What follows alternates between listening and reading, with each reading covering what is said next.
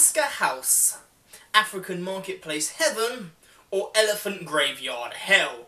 Hey, welcome to Planet Mark, and today in a restaurant review series we'll be going around all of the restaurants in Walt Disney World and giving you our personal rating, it's Tusker House, which is in the firing line.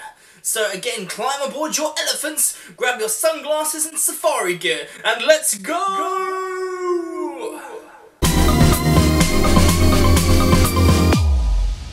This was a viewer request by Damien and India. That's right, Damien and India. Two for the price of one. If you want to shout out for our next video, then wait to the end and we'll tell you exactly how you could be featured. But if you're going on an Orlando vacation, then click on our links below for a list of essential Orlando items that you can get super cheap. But back to today. We're going to be looking at the atmosphere, the cost, the food quality, character dining experience to give you our overall rating. But before we do all of that, let's take a quick look back at the history of Tusker House.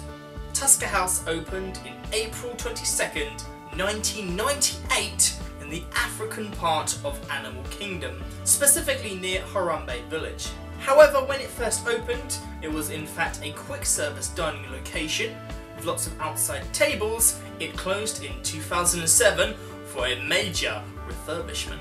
When Tusker House opened in November of 2007, it had become an open-air buffet diner. And furthermore to this new refurbishment, they started Donald's Safari Breakfast. This was a character dining experience just for breakfast, however over the years and to current day, you can find all of the Fab Five at breakfast, lunch and dinner. Fun fact, Tusker House was actually designed as like an African marketplace where you can find actual stores on the second floor of the house. Breakfast opens from 8am to 10.55am, lunch is from 11 till 3.30pm, and dinner is 4pm till 8.30pm. So it actually closes quite a lot earlier than most of the other restaurants. That's mostly because of Animal Kingdom being the earliest one to finish. So let's look at the cost. During breakfast, Disney classes this as a $2 sign restaurant, meaning guests are expected to pay anywhere between $15 and $35 per person per meal. And during lunch and dinner, it changes to a $3 restaurant, meaning guests are expected to pay between $35 and $60 per person per meal. Next, let's take a look at the atmosphere. Whether you like it or not, Animal Kingdom has one of the best themings in the whole of the Disney parks. Any of them. This is by far the best theming. I mean, you've got the rope bridges, you've got the whole kind of intuitiveness like to nature and greenery, you've got the whole aesthetic of like trying to be green and everything. It just makes you feel really, it's just something completely out there and that's what I'm saying. In terms of actual theming, Animal Kingdom has the best. And basically Tusker House just takes this whoosh, and blows it up by 10 really going out and doing up the theming, making you feel like you're in some kind of weird and wonderful and beautiful African marketplace. So at first, when you're waiting for your reservation, you're just going to sit outside on one of the tables there. It's not really a lot to look at, and it's compared to a lot of the other restaurants we've been looking at in our series, not overly great theming at this point. I mean, there's a bar there, so you can still grab a drink, which is always a must for us, but you can just take in the atmosphere of all the hustle and bustle of the marketplace. But you're not here to stare at the outside, you're here to go indoors. So as soon as you enter, you're going to firstly notice that it's an open air market buffet with all of the tables which you're going to sit at are themed like a safari office area, like a waiting room, which sounds a bit weird, but at the same time it is a bit odd. It's quirky and really brings to the uniqueness of this restaurant. The chairs are all wooden and look like they've been hand carved, but don't worry, they're all nice and padded. And they're big as well for the ample gentleman. But it's the tiny little pieces of detail which really bring out the charm, from the carvings in the windows to the safari signs. I mean, there's a sign that depicts a Serengeti hot air balloon ride. I know we'd all like to go on that hot air balloon ride. But it's, the, again, the tiny little things that you could just see in the corner of your eye and read that whilst you're eating, which really gives it its charm. As well as a sign depicting all the Swahili names of the animals that you can see in the Kilimanjaro Safari. So you can learn whilst you eat, and who doesn't love to learn? Again on the walls you're going to see African masks, you're going to see really weird fabrics, beads, you're going to see a balcony. But you're probably thinking at this point, but Planet Mark, how can it be an open air buffet and indoors at the same time? Well, for that answer, my friend, we're going to have to look up. So basically what Disney has done is like a really good solution to this. They've got some kind of clear fabric which will let in light but not the rain so you can stay dry even during the rain. And it's going to let in light, it's going to make you feel like you're outside whilst indoors, mm, kinda. So the actual buffet isn't in those big hot metal school tray things. It's in fact served from carts made of little bits and bobs that the marketplace villagers have actually found and made themselves.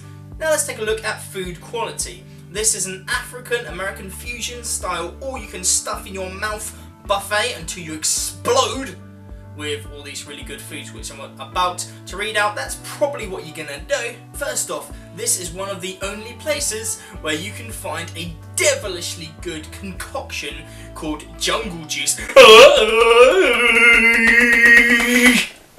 it's a mixture of passion fruit, guava and orange juices it's a bit sweet with a kick.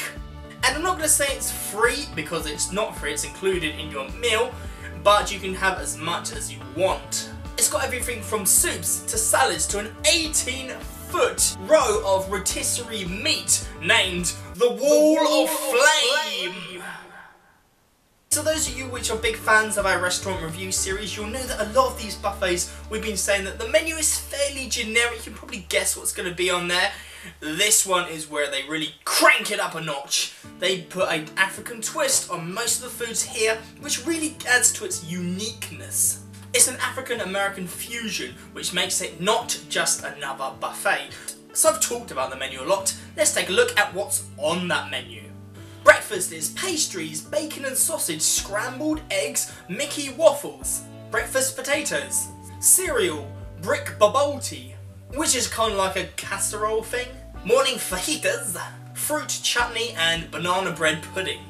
So lunch consists of hummus dips, spit roasted meats from the Wall of Flame, ham and turkey, Kenyan coffee, barbecue pork, curry roasted pork and peri peri salmon. Black eyed pea salad, that's not the band guys. Fruit and vegetable salads, banana bread pudding, strawberry cake and chocolate volcano cake, carrot cake, chocolate chunk cookies, deli meats and cheeses. And for the kids menu there's still those corn dog nuggets, ham and mac and cheese. And dinner is pretty much the same as lunch. Okay so now let's look at the character dining experience. It's just the Fab Five but in their safari gear, which I suppose isn't too much of a hook because you can get it anywhere in the animal kingdom than with their safari gear. But maybe if you don't have that much time, then this is one to do it all in one go because you don't have to wait half an hour or use up one of your fast passes because you want to go into the special rooms that they have. And now our verdict, our rating, using our own rating system which you're all familiar with by now. We take the atmosphere, the cost, the food quality, and the character dining experience to give you a rating using our system. And we're going to put this because of it's so unique and its twist and it's just a different buffet. We're going to in fact put this on do multiple times. And again that is because it's a character dining experience. It's not too expensive especially if you go on breakfast and that Wall of Flame! Okay, I'm gonna stop that now. So the Wall of Flame, yeah, that as well is just such a big selling point for me as well, because I love meat, and African as well. African have such really good food as well, different as well. It's not just another buffet, it's one of those things that, it's one of those quirky things that you're only really gonna get at Disney. The atmosphere is really cool. As soon as you get inside, it's just a really cool, unique idea and the characters as well, still going around, like still those interactions and it means it saves you a lot of time because Animal Kingdom does close early so there's not as much time. There's ne it's never going to be one of those parks which has like a special event on. It's going to be hard to get all of the characters in their safari gear. You may get one or two characters in the safari gear but here you're guaranteed to get all five of them in their safari clothes pictures and everything interactions. And it's just good food as well. I can't stress to you how good the food is and how awesome it just looks. But you tell me in the comment section below, would you do this? But remember this was a viewer submission by Damien and India. But if you want to be featured in our next restaurant review, then just tell us below which restaurant should we review. It's that easy and you'll be featured. But if you're planning a trip to Orlando or any kind of trip abroad, then make sure that you check out our list of super cheap items in the description below. Remember to subscribe to Planet Mark and hit that bell notification to be told of the next great upload. Like and share this video. Follow us on Twitter at Planet Mark Vlog or Facebook.com forward slash Planet Mark Vlog. See you in the next one, guys. Bye, bye, bye, bye, bye, bye, bye.